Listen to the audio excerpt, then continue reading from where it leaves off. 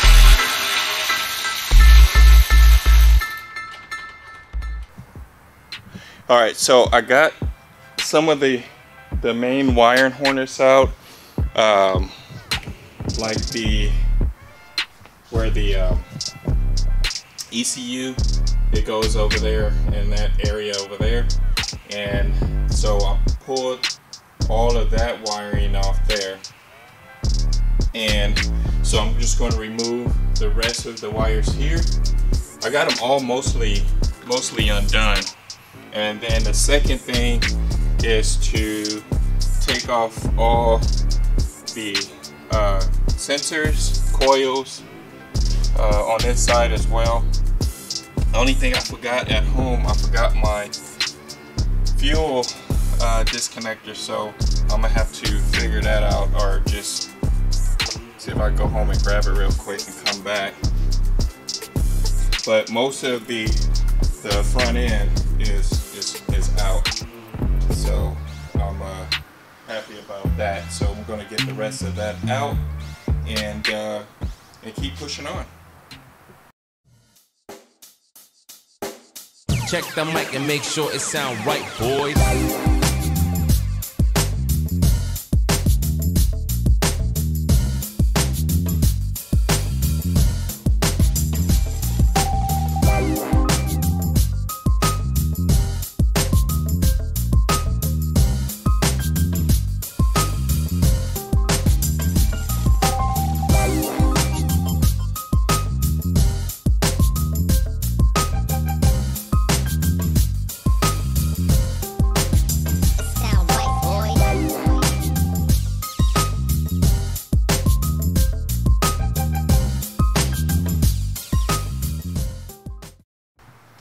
All right guys uh, right now I have most of the wire harness out. Well not out it's it's on the engine but it's like disconnected from the body itself. And then I had jacked up not not broken nothing but jacked up the car to um, to get to the transmission stuff. And then I had uh, disconnected some more of the power steering and all that good stuff. So right now I'm going to get the engine hoist, strap it up, and try to pull the engine up and forward because it's a lot of stuff on the back that I, I just can't get to because it's so cramped in there. And I want to try to get it off without breaking anything. So uh, let's jump into that, try to pull the engine up and forward and try to get some of the other stuff disconnected before I totally take it out.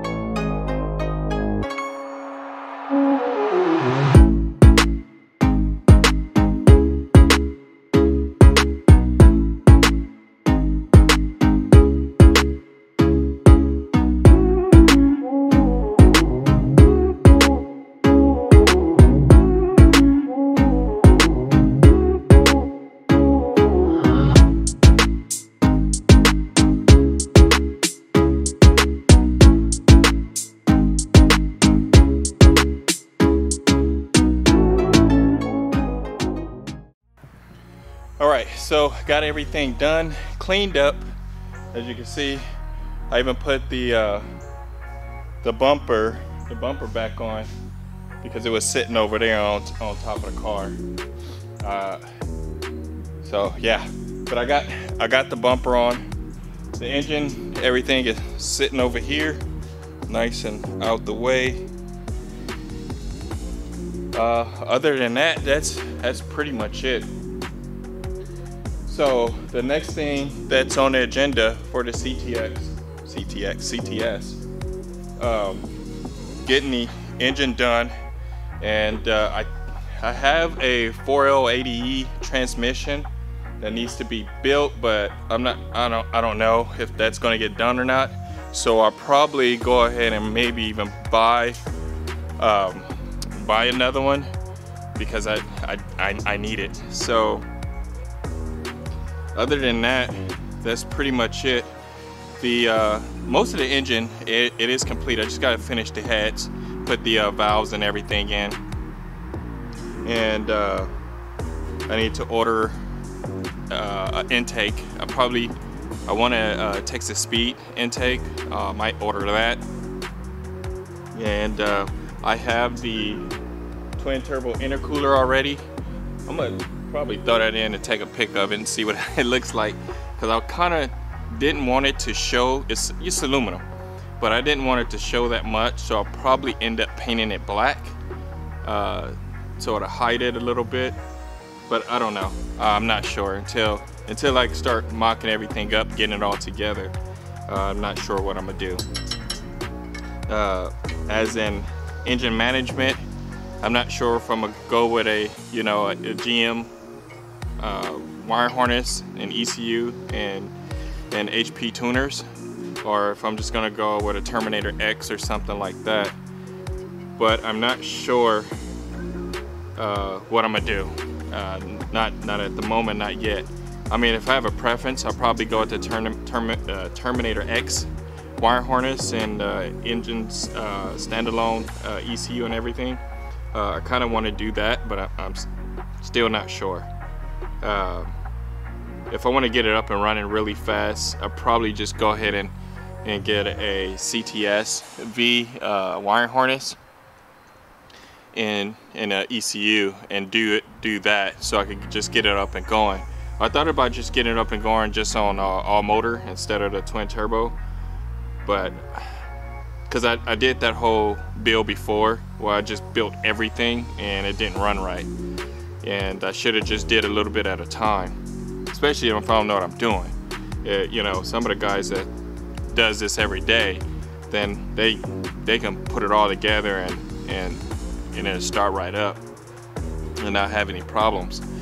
Um, but with the Terminator X and all that stuff, I can actually, you know, test the coils, test the injectors, test everything before actually firing a car up. So that's that's pretty cool too. I kind of, I really want that. But I also want all the gauges and stuff to work. Now, I know I can still get it all to work, uh, it's just nothing but some wiring and figure out what is what.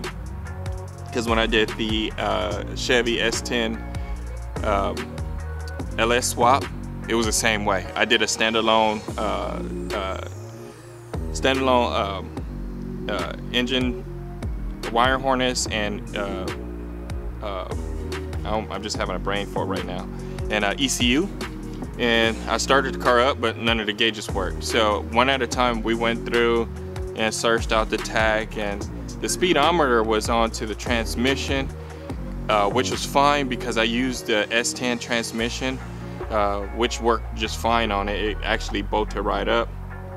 It was just a some kind of little uh, spacer adapter I had to use for a torque, torque converter and um, all the other lights we got it to work the uh, uh, temp sensor, the uh, temperature sensor, uh, the uh, tachometer. We got everything to work on it. And then I sold it. so I'll probably end up doing the same thing here. Just get it all going and, and up and running. And then start messing with the gauges and all that stuff to get it up and going. if I use the Terminator X. But other than that, hey guys, please stay tuned. We, we have some more stuff coming up uh, and some more projects coming up as well. Uh, so stay, stay tuned with that. Uh, please comment, like, subscribe. Give me a thumbs up, thumbs down, or whatever the case may be. Until then, I'll holler at you.